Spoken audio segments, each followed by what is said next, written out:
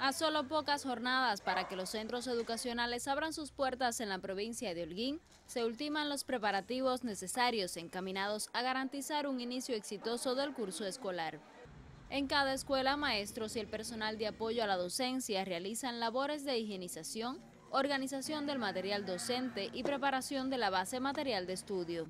A la vez se efectúa el proceso de matrículas al estudiantado de nuevo ingreso y los profesores se actualizan en las conferencias metodológicas acerca de los planes de estudio y las orientaciones del sistema de enseñanza-aprendizaje.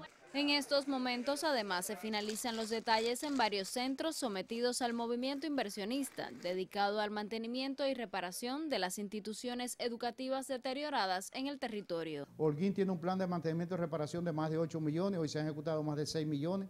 Estamos hablando de eh, ya 75 eh, escuelas que que se han reparado en esta etapa. Nosotros teníamos evaluadas de regular y mal el 20% de las instituciones en Holguín, estamos en estos momentos un 18%, se continúa trabajando en las 257, quiere decir que el plan es durante todo el año. De esta manera, los educadores holguineros materializarán en el próximo periodo lectivo, con el apoyo tecnológico priorizado, la generalización del sistema de perfeccionamiento educativo en todas las unidades de las diversas enseñanzas, con el fin de elevar la calidad de la formación.